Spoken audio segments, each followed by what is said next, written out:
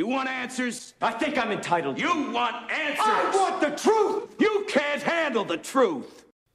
Hey, everybody, a big welcome to 2018. We made it. here we are.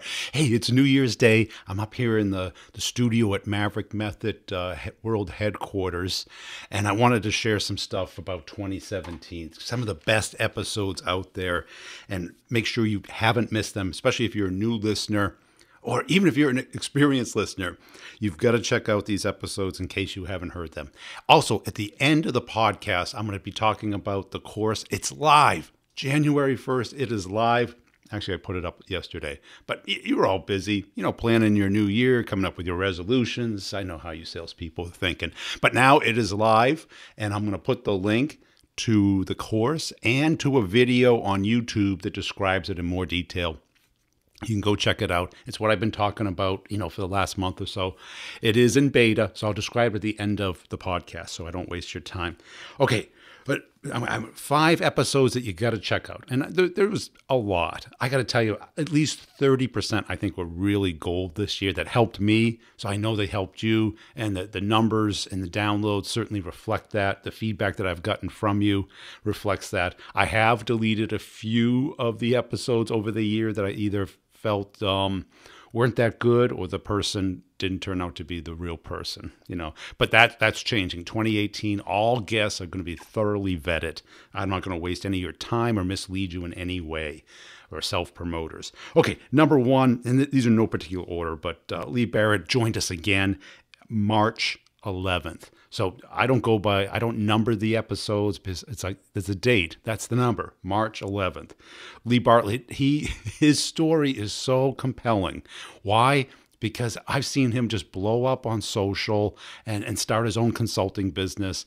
He, he wrote a great book, um, Number One Salesperson.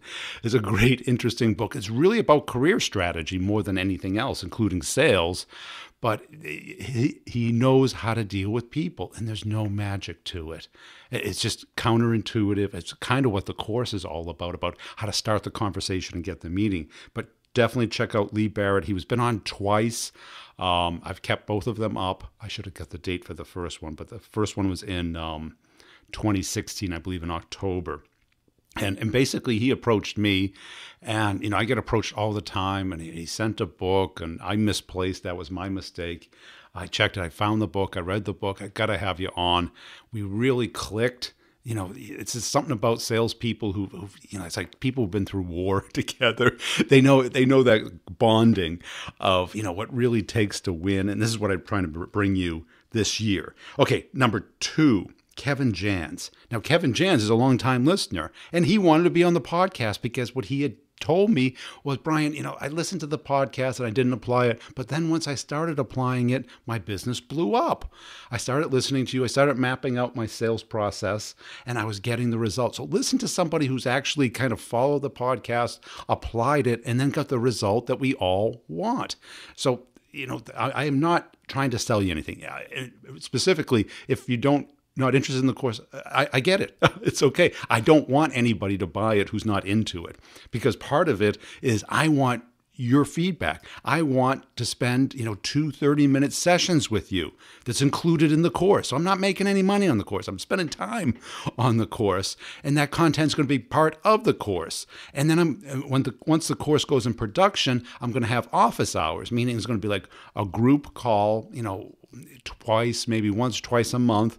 And you can send in, in, questions. We'll go through the questions, go through examples. I want it to be interactive. I want it to be all about you and get the results that you want. We're in 2018. Okay, we're going to get quotas soon, right? They're coming down. Territory changes are coming down. You know this is going to happen. Kickoff meetings that are going to happen, right? And, you know what happens? Management busies you in Q1, and then March comes and they go, "Hey, what have you been doing?" I've been attending your silly ass meeting for the last two weeks. That's what I've been doing. And, and I don't know where you are listening to this, but it's pretty damn cold here in America. You know, it's freezing. But, anyways, check that out. That was May 27th. Now, I'll put these dates in the show notes so that you can check in for each of these, but you got to review these. Now, a lot of people would just like repost them. Uh, you know, I don't want to fill up your, your phone with with episodes that you're not totally committed to. But you got to check out um, Kevin Jans because here is somebody who's really done the Maverick method. And people say, "Oh, I have my own." It is your own method. The point is to really get it out of your head, break the elements down because every deal has the elements. And I, I, every salesperson I talk to is like, "Oh yeah, well each deal has this, this." Yep, that's it. Okay, let's map it out. Let's prevent the bad things from happening. Make sure the good things are happening. Have direction, momentum, and control. Every deal has it. Whether you take control or not is up to you. Whether the, direction's going into the wall or not, that's up to you. But if you take control over it and keep the momentum going and you know the direction it has to go, the deal's going to happen. It's natural. Okay, the next one, June 3rd, Eddie Yoon. Now, Eddie, he if you're selling services, you know, complex, high price services, you got to check out this one, June 3rd. Big deals. Now, again, here's a career sales guy Eh, but not the bag carrier, like a practice manager at a large consulting company. So he had to get into big companies to sell services. Pretty hard, right? You don't just cold call, hey, let me send you a proposal. No, you have to get to know people. You have to build rapport with people. You have to get the meeting and start the conversation. And eh, I'm, I'm sure you're getting a theme here of what great salespeople do. And this, this is going to be unlimited career opportunity. Everyone's talking about AI reducing the number of jobs. B2B salespeople are going to be in so demand. Why? Because guess what we saw in 2017? I saw a lot of companies go away. Why? The only reason a company goes away is because they don't have any revenue. They don't have enough revenue to cover their costs. That's the only reason. And who gets the revenue? Salespeople get the revenue. Okay, the inbound order takers, their job's going away. Sorry. Anything that be replaced by a website will be replaced by a website or a bot or whatever they're going to call it today. But new things, all these AI things that are coming out, someone's got to sell them, right? Somebody's got to get out there and get to the people who need them and explain them because most of it is, you know, calling it AI is very generous. it's really just software, just technology in most cases. But June 3rd, he goes through how you do that. great guy, really fun interview. Uh, he approached me. I, I, really enjoyed the conversation. And there's a lot more than these five, but I, I, I try, had to keep it to five because I know if I, I say, okay, the top 50 episodes, people will be like, oh, Brian, get over yourself. Okay, the next one June 27th, Steve Woods from Nudge.ai. Now, Nudge, they, they went on this series this year that every salesperson has got to check their blog out because what's it about is how people are making buying decisions. And guess what? No one's making them off of cold, pitchy emails, phone calls, social. They're not. They're making it off of word of mouth, reputation, and getting to know people and understanding the problem. You know, people call it education, but education's too soft of a term. You, you got to be persuasive. You got to, you know, stir up that pain, make people aware of the problem that they don't even know they have. You know, there was this conversation on LinkedIn this week where this um, IT manager goes, if and when I'm interested, I will search it out. And you're like, get over yourself. How do you know? That there are so many things in the world today that will make your life better. And that's why you listen to podcasts. It's like, uh, uh are you listening to this to find out about Pipedrive or Nudge or Covideo or Prezi? Uh, no but I make you aware of them. And if they fit your need, they, they solve a problem for you, you will check them out. But you didn't know about some of them before. You know, and a lot of times I get these emails. Go, Brian, thank you for telling me about Pipedrive. It's like it's so simple and easy and inexpensive. I love it. Nudge, I didn't even know that existed. Prezi, I'm using that better than PowerPoint video emails. I didn't know about that. That's the point of the podcast. Anybody who thinks, oh, when I need it, right? Oh, how many things do you need today? I mean, I, I need a lot of stuff. You know, I'd love to have a thermal running suit that I could go out in nine degree weather and run for, you know, an hour. But I, I don't think that exists. Yeah, they got stuff to keep you warm, but not that warm. But Nudge's series. Now, th- this episode is great because it's about him and the CTOs and how he makes decisions. But what's really good is like find on their blog that's you know they got marketing people, sales leaders, CEOs. You understand how the person buys. So now you have to come up with your sales strategy to match that in your market space. How do those people buy? How do they find out about a problem? Who do they listen to? Who are they going to trust? Who do they know? Like and trust. That little sequence that we all go through, and none of us will really admit to it. And uh, number five, Ryan O'Donnell on September 12th. Okay, th- this one I think was the most popular episode this year. And guess what it was called? How to Get a Meeting with Anybody. Now, now Ryan and I have known each other for a couple of years. Uh, he came on the podcast a couple years ago. We kind of hit it off. He came out with a new product. And um, he did a great blog post that I really liked, obviously, because the number one problem I'm hearing from everybody is how do I get cold new meetings? How do I get new deals? Not the ones that are coming to me, the ones that I want. You know, remember when you were single, the person you want, not the Sadie Hawkins thing where they, they pick you? The ones that pick you typically are not the ones you want. Trust me. the ones you want may not want you, but we have to entice them. So Ryan talks, we t- both of us dig into the elements of how to get a meeting. So it's kind of like uh, the beginnings of the course. But the course, let me dive into the course. Oh, uh, wait, I got three more. I got three bonus hacks. Now, if you, uh, what I learned and what I heard consistently this year, last year, 2017, were the three things that would separate the great players in sales from the mediocre players. Number one, what I heard constantly was focus. Now, this thing, and that was pretty much my thing when I got into sales. It's like it's so easy to get distracted in sales, especially today. You get all these toys, all these things that your company wants you to do. But believe me, mo- most sales reps today, I think, would be busy all day long, you know, entering data you know, doing reports. But that's not the job. Your job is to sell, right? And you can have pretty reports and everything, but you, are going to get canned if you don't sell. So focusing on what really matters on your customers that are going to close because it's our time. Our time is the only commodity that we can't buy more of. We can't we can replace, we can delegate things, we can automate things, but it's our time. Our time is so critical. So focus is clearly number 1. Number 2 is coachability. And this this isn't just coachability from what your manager suggests you do or the feedback you get. This is your own. You should be your hardest coach. You hear any great athlete, any great artist of any kind, they're the hardest critic. And you have to be able to get yourself ready for the answer to appear. You know, the, the saying I did a whole podcast on when the student is ready, the teacher will appear, meaning that you have to get yourself ready. And this is kind of the week where people get themselves ready. New Year's resolutions. Number one is what?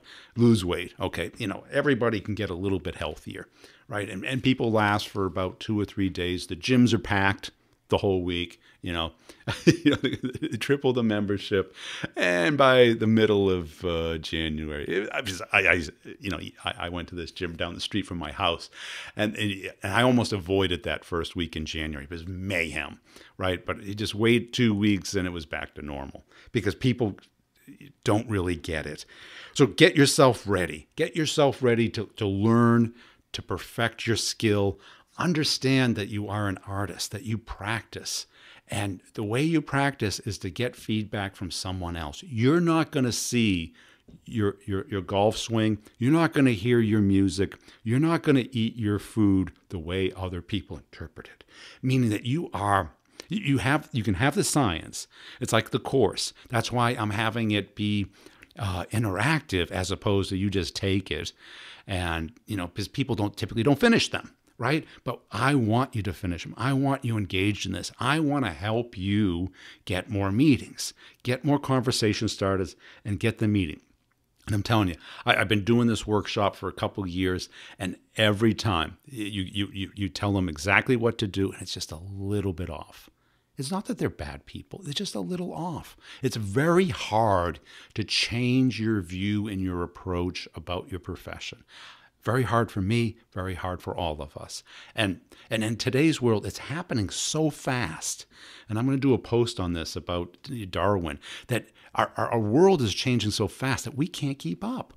And and what we and what's being taught out there is what worked 20 years ago. And what people are saying, oh, you're just not doing a little bit. No, no, the whole thing doesn't work anymore. You have to do it differently and not just i mean and a whole different approach needs to be applied because at the end of the day we're still human beings and that part of us isn't changing that fast we're not adapting that fast but the technology is kind of pushing us into doing bad things. We're automating bad behavior. You know, in the same post where the guy said, Oh, if and when I want, I'll go, don't bother calling me. Well, the whole world would come to a screeching halt if nobody convinced anyone else to do something, right? We, we would all sit around, you know, oh, I know I need the flux capacitor, and you don't know what the flux capacitor is. So we've got to have we have to still sell because everyone's going to go out of business if no one sells, and we have to do it in a humane way, a humanistic, an effective way. Because guess what? The world's changing, and pretty soon, you know, a lot of the stuff that um, we've tried always gets overrun by technology. I mean, we saw it with the phone.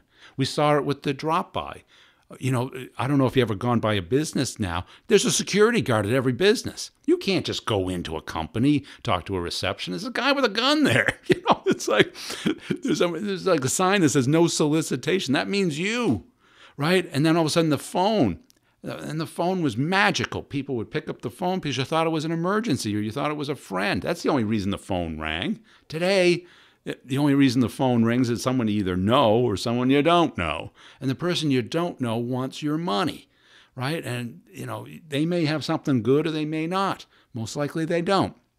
If you we got caller ID because you can now tell we have voicemail.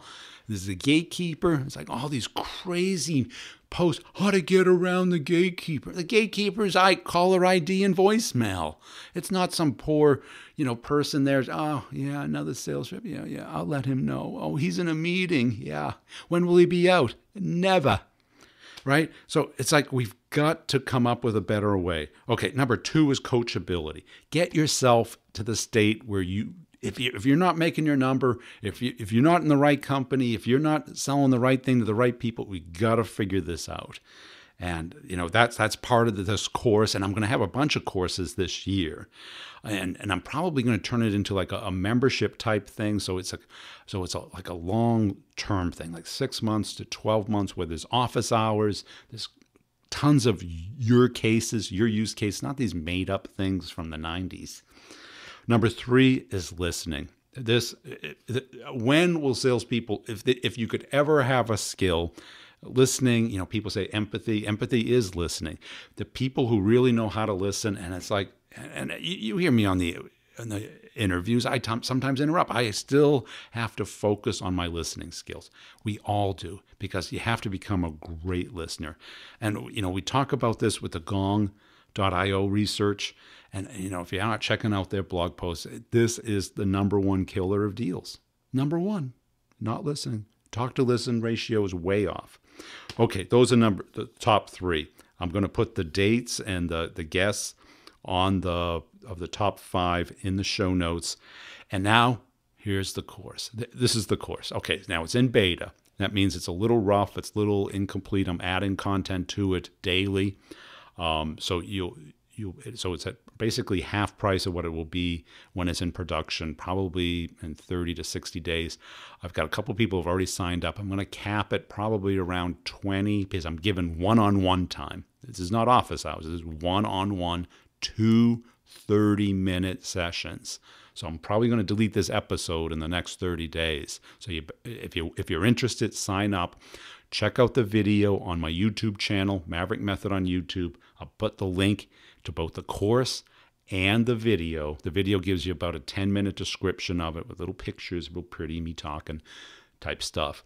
But the course is all about how do you get the conversation started with a cold person in the B2B space. So, who's right for this? If you listen to the podcast and you dig what I am saying and it matches how you sell in the market you sell to, because that's critical, because you know if, if your market is different, if you're selling to mom and pops or you know, solopreneurs or consumers, it, it probably isn't for you.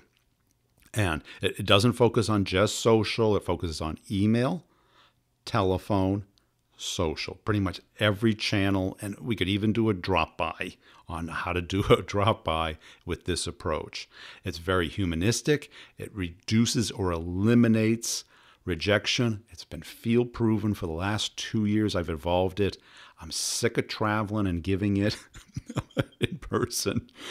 Oh, I'm telling you. Oh, imagine like oh, waiting on the tarmac to get onto a plane today. It's freezing out there I'm sick of traveling, so I want to do it online. But to be successful online, you have to make it interactive.